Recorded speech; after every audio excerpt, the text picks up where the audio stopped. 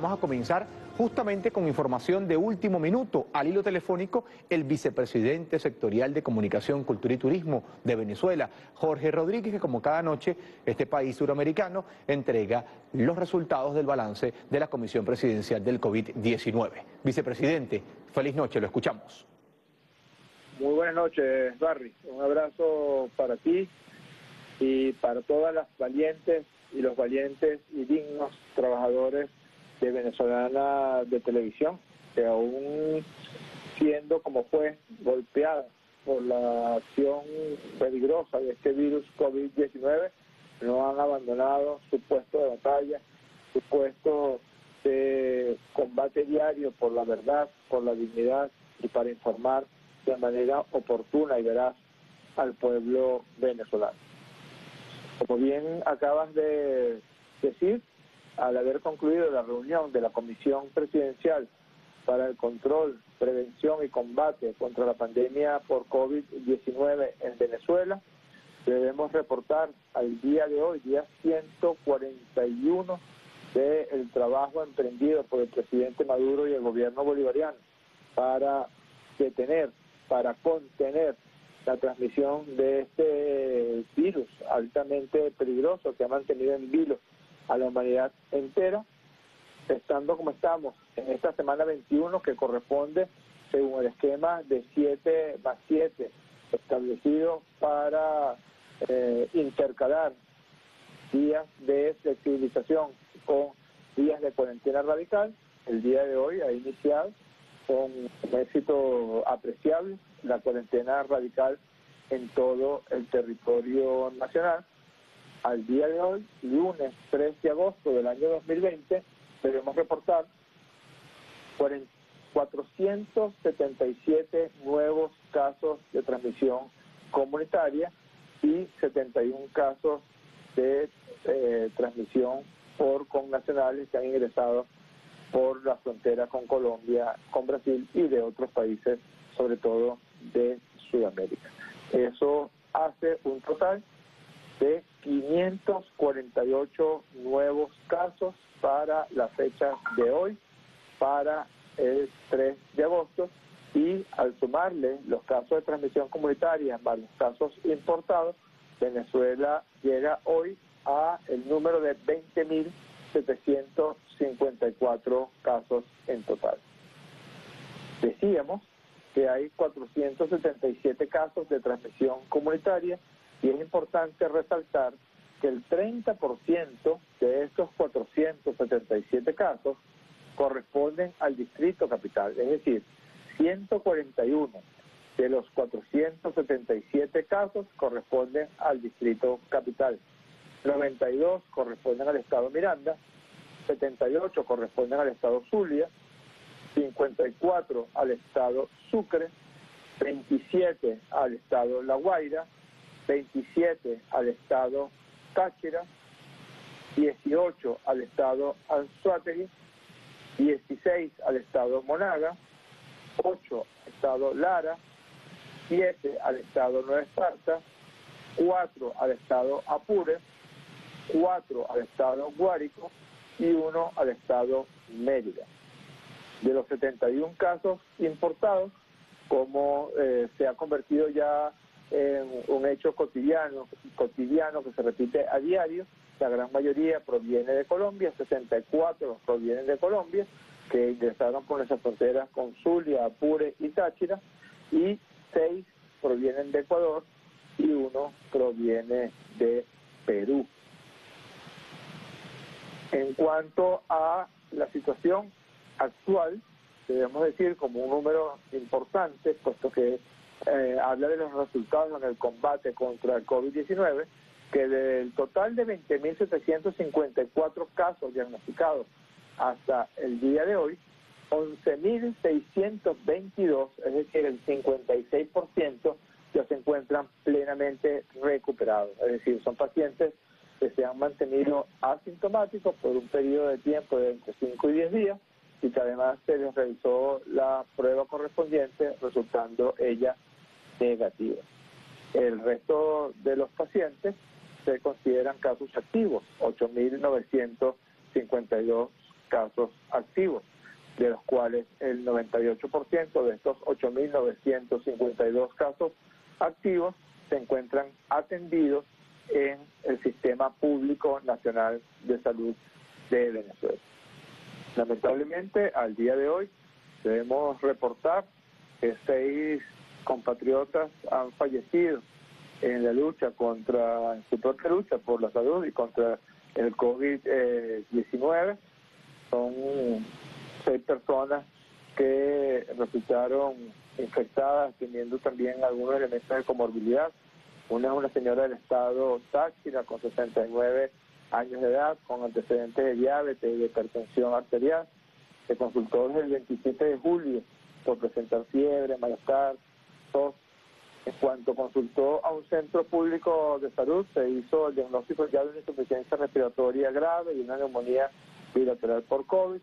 Fue ingresada de inmediato a la unidad de cuidados intensivos, pero con una mala evolución que la condujo a un paro cardiorrespiratorio irreversible, falleciendo en horas de la madrugada de ayer. El segundo caso es un señor del estado Carabobo, relativamente joven, de 59 años de edad. Se encontraba en Ecuador e ingresó a Venezuela por un paso irregular, por una trocha desde Colombia, por Táchira. Inició síntomas el 20 de julio, fiebre, tos, dificultad respiratoria. Fue a un hospital en San Cristóbal e inmediatamente se le hizo el diagnóstico. La evolución fue tórpida, la evolución fue mala y lamentablemente, aun cuando fue ingresado a la unidad de cuidados intensivos, falleció en horas de la noche del día de ayer. El tercer caso de los fallecidos de hoy es un señor de 73 años de edad, también del estado Táchira, del municipio San Cristóbal. Era un docente universitario y vivía en un sector donde había varios casos positivos para COVID-19. Empezó a presentar síntomas el 25 de julio, malestar general, fiebre, tos, fue a consulta el 31 de julio y fue diagnosticado ya con una neumonía bilateral típica que aparece en los pacientes con COVID-19. Fue trasladado a la unidad de cuidados intensivos y en el traslado a la unidad de cuidados intensivos hizo un paro cardiorrespiratorio irreversible. La cuarta compatriota fallecida es una señora de 69 años de edad, habitante del municipio Baruta del estado Miranda. Ella es una persona eh, que tenía antecedentes de hipertensión arterial y asmática. El 15 de julio presentó debilidad general, diarrea, luego pérdida del olfato, pérdida del gusto, dificultad para respirar. El 20 de julio fue ingresada ya con el diagnóstico o la sospecha firme de eh, infección por COVID y neumonía bilateral. Luego se realizó una prueba molecular PCR que eh, confirmó el diagnóstico. La evolución fue mala. El 23 de julio fue ingresada a cuidados intensivos y se conectó a ventilación mecánica y hubo un deterioro progresivo y acelerado de sus funciones respiratorias que eh, lamentablemente la condujeron a la muerte. El quinto caso es una señora del estado Mérida, de 57 años de edad, que por su profesión era enfermera. Se mantuvo en contacto directo con pacientes COVID-19 positivos ella misma tenía hábitos sabáticos eh, severos y enfermedad pulmonar obstructiva crónica. Consultó a un centro centinela el 5 de julio porque estaba presentando fiebre, malestar, dolores articulares, tos, y luego a eso se instaló una dificultad respiratoria creciente. Luego fue ingresada en un hospital de centinela porque su cuadro se agravó. Desde el sitio en el que estuvo fue trasladada a un hospital centinela y, e ingresa a ese hospital centinela en malas condiciones generales. Hubo un progresivo deterioro de sus funciones respiratorias y lamentablemente falleció. El sexto caso es un señor de 76 años de edad del estado de Nueva Esparta, del municipio Mariño, del sector conejero. Había sido contacto de un caso positivo en su zona de residencia y tenía además como comorbilidad una enfermedad cerebrovascular reciente, problemas de hipertensión arterial. El 12 de julio empezó a presentar fiebre, tos, dolor lumbar y fue ingresado el 18 de julio porque se deterioró su función respiratoria se realizó TAC de tórax y allí se evidenció eh, el infiltrado típico, de neumonía bilateral típica de la infección por COVID-19 cuando se encuentra en la llamada fase neumónica.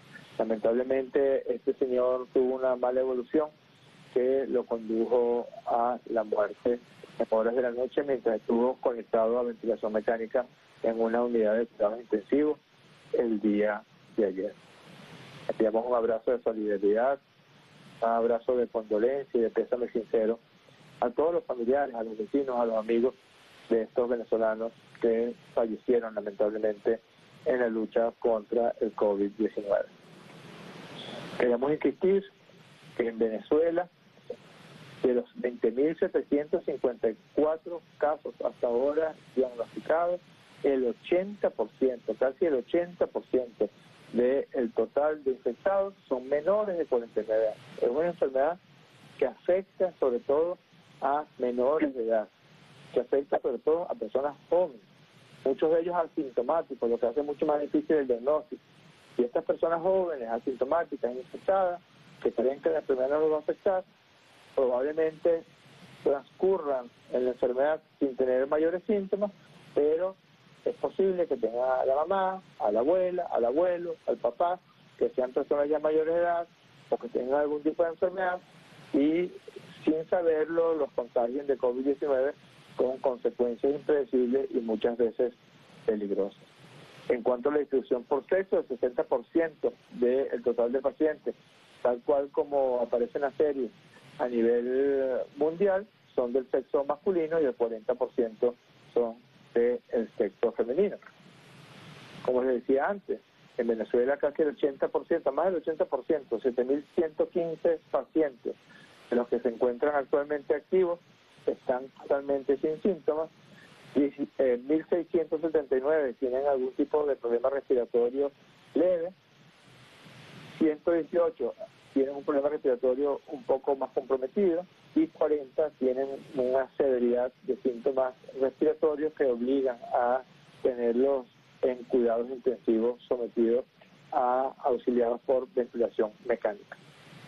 Debemos reportar también que hasta el día de hoy Venezuela ha realizado para el diagnóstico de COVID-19 1.554.624 pruebas, lo que representa una proporción de 51.821 pruebas por millón de habitantes. Insistimos en esta semana de cuarentena radical, que se respeta la cuarentena radical. Mientras más disciplinados y más solidarios seamos en cuidar a nuestros familiares, a nuestros vecinos, a nuestra comunidad. No saliendo, cuidas a tu comunidad y sobre todo cuidas a tu familia.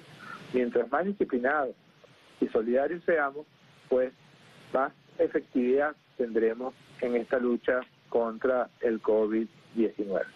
Venezuela presenta cifras de eh, total de casos baja respecto a todos los demás países de este continente, presenta cifras de recuperados mucho más altas de las que presentan muchos otros países de este continente, presenta una de las cifras de letalidad más bajas del mundo y eso es precisamente por todas las medidas que se han tomado para cuidar a todas las personas, para cuidar a los pacientes, sean ellos asintomáticos, sean ellos con síntomas leves, moderados o severos. Así que es muy importante que ustedes nos ayuden a cuidarlos con la mejor herramienta o las dos mejores herramientas que se han que se ha demostrado ya científicamente y así ha estado publicado en muchas revistas y en muchas revisiones a nivel internacional, las dos grandes medidas son la cuarentena radical y el uso masivo y permanente de la mascarilla del tapabocas. Te mando un abrazo, Barry, un abrazo a todas y a todos, a los coordinadores, a los directores, a los técnicos, los luministros, los camarógrafos, a todas y a todos quienes hacen vida y hacen vivir al mejor canal de televisión de Venezuela, venezolana de televisión. Un abrazo.